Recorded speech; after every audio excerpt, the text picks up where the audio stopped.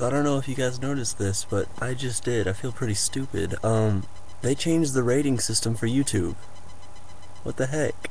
I just caught up on that. Like, I, they used to have, like, thumbs up, thumbs down, then they had your little empty stars that you could click on. Now it's just thumbs up, thumbs down. That's it. There's no, oh, I'd give it about three stars. You know, it wasn't bad, but it wasn't good. You know, it wasn't great. But now it's just, did you like it at all, or did you completely hate it?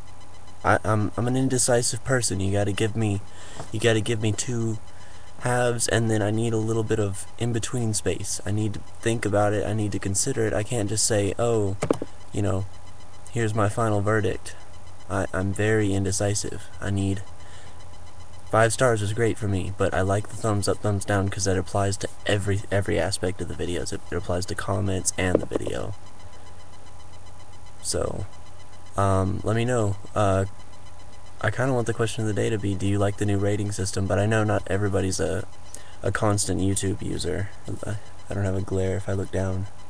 Just take them off. Um, so no, I'll probably post another video later tonight. It's already midnight, but I'll just post another one. Uh, so yeah, if you want to go ahead and answer, if you're a regular YouTube user, um, do you like the new layout. I don't personally. I I like the sidebar. Oh, sidebar. the heck. Uh, but now it's the pants bar. So uh, Shay was like, "Link in my pants, man. Check out the link in my pants." Yeah. so uh, yeah. See y'all later.